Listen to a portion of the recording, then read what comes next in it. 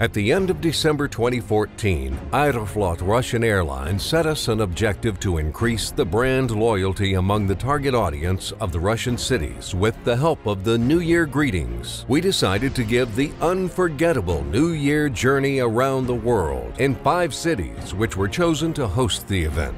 To organize these extraordinary greetings and achieve the maximum coverage and engagement, we utilized the 3D projection mapping technology five buildings, 68 projectors, more than 10,500 square meters of facades, and 11 days of the unique projection mapping plunged five Russian cities into a true New Year fairy tale.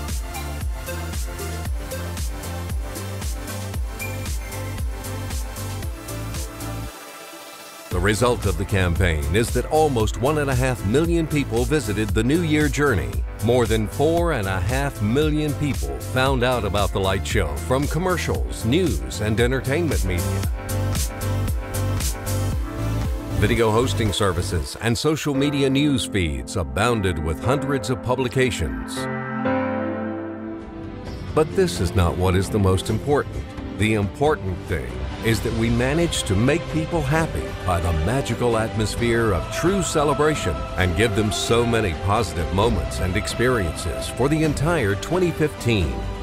As it is known, the way you celebrate the new year, that is the way you spend it.